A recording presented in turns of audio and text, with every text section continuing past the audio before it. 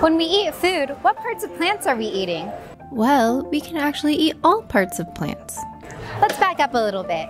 A few weeks ago, I decided to do a little experiment. You can also try this at home yourself. I was soaking some beans for my dinner and decided to leave a few extra soaking to see what would happen. Before I knew it, I started to see something magical. Take a look at what happened. How do beans get from here to here and finally here? Well, it turns out beans are actually seeds. Inside the seed is everything it needs to grow, so that when the seeds are given a little water, warmth, and some love, the seeds start to grow. The awesome thing about some seeds is that they can be grown like this or eaten like this.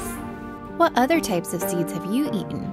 I've eaten these beans, sunflower seeds, pumpkin seeds, and more. Let's learn about the other plant parts that we can eat. So what's peeking out of this bean? That's right, a root. Roots are what help this baby plant absorb water and other nutrients from the soil to help it become big and strong. As the plant gets bigger, roots also help it stay in the ground and keep it upright, kind of like legs and feet for humans. And just like seeds, humans can eat some roots too. Maybe not these ones, but what about these? Did you know that carrots are roots too? They're so sweet and delicious. Here are a few other types of roots that I like to eat. Have you tried any of them?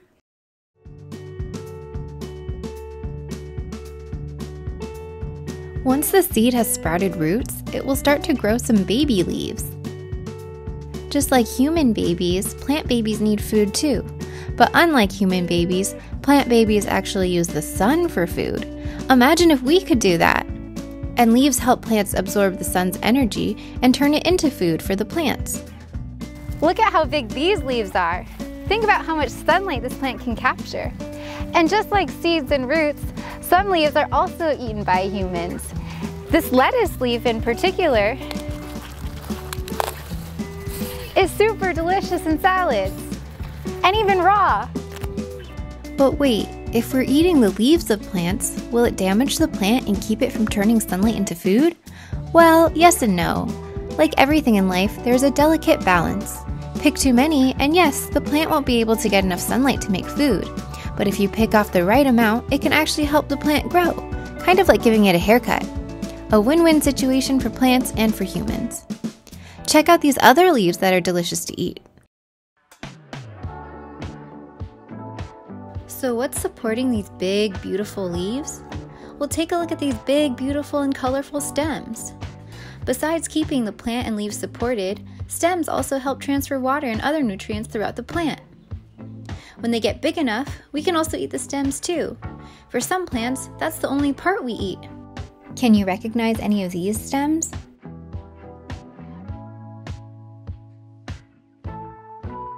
What do you think happens to the plant after its leaves and stems get bigger and bigger? Well, it starts to flower. Did you know that broccoli is actually the flower of the plant? Not only are they pretty to look at, but animals really like them too. Plants can't walk, so these flowers help the plant attract both animals and humans to help them get pollinated. Did you know that artichokes and cauliflower are also delicious flowers that we can eat?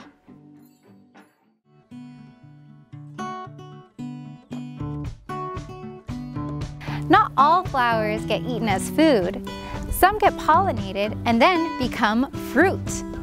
Do you know what this fruit is? If you guessed strawberry, you'd be right. And this is one of my favorite fruits to eat. I'm here to answer your question once and for all. Is a tomato a fruit or a vegetable? Well, the answer is both. A fruit can be anything that contains seeds, and look at the seeds in this tomato. But it can also be cooked like a vegetable. Peppers can also be fruits and vegetables. How cool is that? And this brings us back full circle to the beginning of the plant life cycle with the seed. Oftentimes, we can save the seeds so we can grow more of the same plants in the future, or we can just eat them. Now that we've seen all of these different plants and their parts, let's do a review of the plant life cycle. Do you remember where we started at the beginning of this video? That's right, with the seed.